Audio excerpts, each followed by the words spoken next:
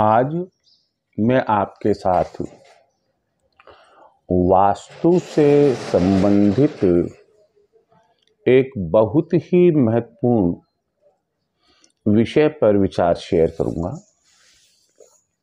हम आजकल भवन के निर्माण कार्य में देख रहे हैं कि सामान्यतया भवन की जो छत बनती है, वह आरसीसी से बनती है। और जब भवन बड़ा होता है लंबाई चौड़ाई में तो ऐसी स्थिति में भवन की छत का लोड यानी कि भार सहन करने के लिए बीम डालना अति आवश्यक होता है। चाहे वह बीम छोटा हो और चाहे वह बीम बड़ा हो। इसी प्रकार भवन भी हमारा आवासीय रेजिडेंशियल हो सकता है ऑफ़िस का हो सकता है, कार्यस्थल का हो सकता है। फैक्ट्री का हो सकता है, कोई भी हो सकता है। अब सवाल ये है कि भवन की छत के लिए बीम डालना ज़रूरी है। बीम यदि बड़े होल के लिए, बड़े कमरे के लिए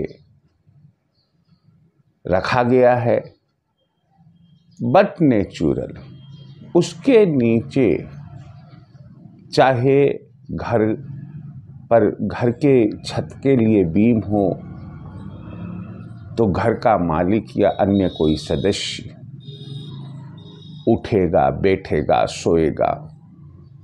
कार्यालय या फैक्ट्री में है तो कार्य करने वाला कोई भी व्यक्ति उसके नीचे बैठकर कार्य करेगा। तो ऐसी स्थिति में यदि बीम के नीचे बैठना, सोना या अन्य कोई कार्य संपादित होता है तो उसका क्या प्रभाव जीवन पर? व्यापार में, गृहस्थ में पड़ता है? इसके बारे में आपको मैं जानकारी दूँगा। हमेशा ध्यान रखिए कि वास्तु से संबंधित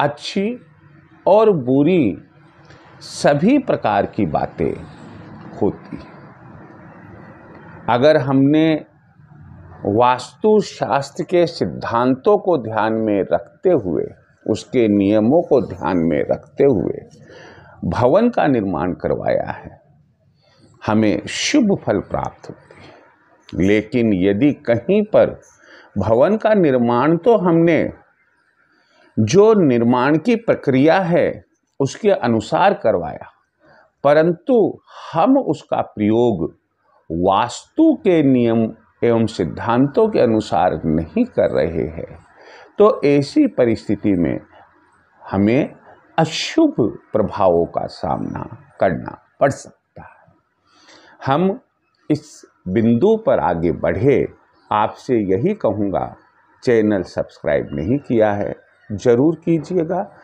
और हमेशा की जैसे एक ही बात आप लोगों से मैं कहना चाहूँगा कि यदि आपको विश्वास है, श्रद्धा है वास्तु वास्तु के नियम और सिद्धांतों पर तो ऐसी परिस्थिति में आप जो मैं आपको बात शेयर कर रहा हूँ या करता हूँ, आप उसे पूरा सुने। चलो, अब हम अपने मुख्य बिंदु पर आते हैं। मान लो कि आप ने एक भवन जो आपके आवासीय रेजिडेंशियल पर्पज में काम आएगा या आ रहा है और उसमें एक बड़ा रूम, कमरा बनवाया। उस कमरे में बीम डलवाना ज़रूरी था। तब वह छत पूरी और मज़बूत बनती है। अब जब बीम डला है और कमरा बड़ा है तो स्वाभाविक है कि वहाँ आप किसी न किसी रूप में उस कमरे को काम में लेते हम पहली बात यह मान मानकर चलते हैं कि आप उसे अपने शयन के लिए सोने के काम में लेते हैं। यदि आप बीम के नीचे सोते हैं, आपका बेड बीम के ठीक नीचे आता है तो ये पक्की बात मानकर चलो कि आपका स्वास्थ्य ठीक नहीं रहेगा। स्वास्थ्य पर बुरा प्रभाव आपके पड़ेगा। आप स्वभाव से चिड़चिड़े हो जाएँगे और आपका आत्मबल भी कमज़ोर होगा। शयन कक्ष में यदि आप बीम के नीचे सो रहे हैं और आपका सिर उसके ठीक नीचे आ रहा है। तो स्वाभाविक है कि आपको सिर दर्द की बीमारी हो सकती है। यदि आपके पेट के ऊपर सोते समय आरसीसी बीम आपके पेट के ऊपर आ रहा है तो आपको पेट से संबंधित बीमारियाँ हो सकती है। मसलन आपको अल्सर हो सकता है। आपकी आंतों में किसी भी प्रकार की कोई बीमारी हो सकती। यदि सोते समय आपकी स्थिति ऐसी बनती है कि बीम आपके पैरों के ऊपर आ रहा है तो ऐसी स्थिति में आपकी जो यात्राएँ है, वह चाहे किसी भी उद्देश्य से आप करें और आपकी जो मोबिलिटी है, गतिशीलता है, उसमें रुकावटें पैदा हो जाएगी।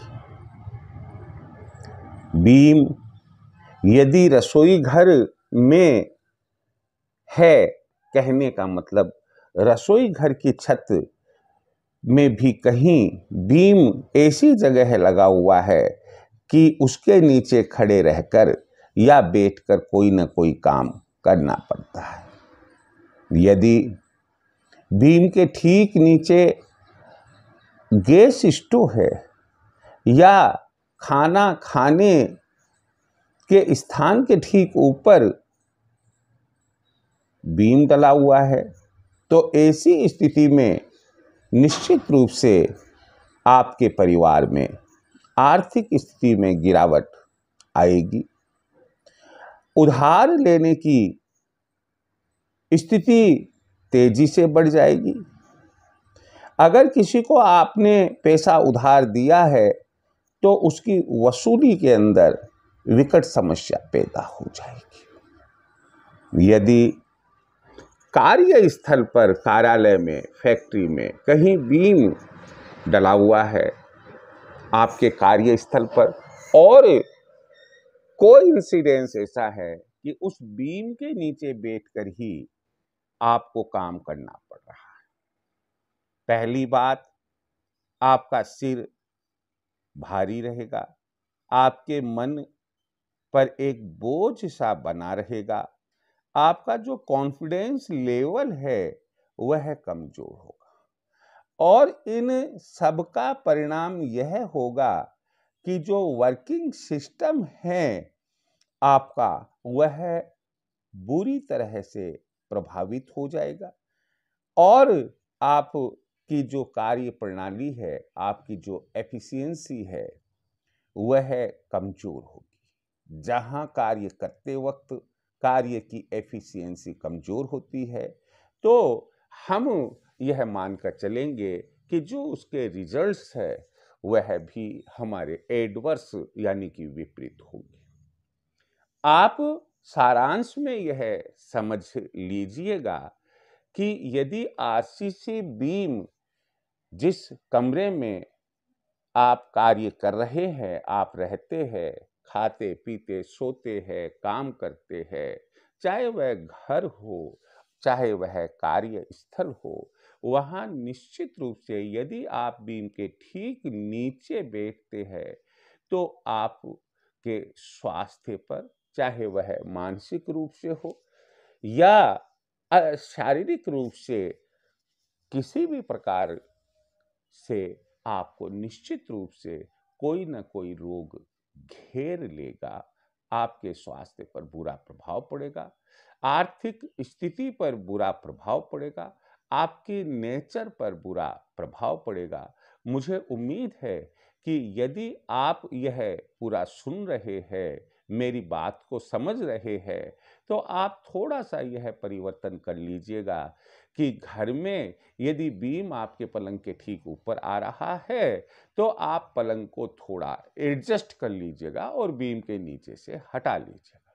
अगर ऑफ़िस में जहाँ आप काम कर रहे हैं, वहाँ टेबल कुर्सी आपकी जो इस तरह से लगी हुई है कि आप उसके ठीक नीचे, बीम के ठीक नीचे बैठकर ही आपको काम करना पड़ रहा है तो उसे भी आप दाएँ बाएँ कर सकते हैं, आगे पीछे करके काम कर सकते हैं। यदि रसोई घर में है तो ऐसी परिस्थिति में भी आपको स्थान बदल लेना चाहिए। अगर फैक्ट्रीज वगैरह में हैं और आपने अभी तक इंस्टॉलेशन मशीन प्लांट्स का नहीं किया है तो ऐसी परिस्थिति में मशीन प्लांट्स का इंस्टॉलेशन करते वक्त और मशीन जो ऑपरेट करते हैं, ऑपरेटर्स के ऊपर वो बीम नहीं आना चाहिए। यदि बीम के नीचे हम कोई भी काम करेंगे, किसी भी प्रकार का काम करेंगे, स्त्री करे या पुरुष करे, बच्चा करे, बच्चा अगर पढ़ाई भी करेगा तो वह भी एक बोझ लेकर ही करेगा। इसलिए आप इन, इस बात को ध्यान में रखें और मुझे उम्मीद है कि आप इस पर विचार करेंगे और अपनी, अपने जीवन में खुशहाली लाने के लिए आप बीम्स के ठीक नीचे नहीं बैठेंगे, कोई कार्य नहीं करेंगे। जय श्री कृष्ण।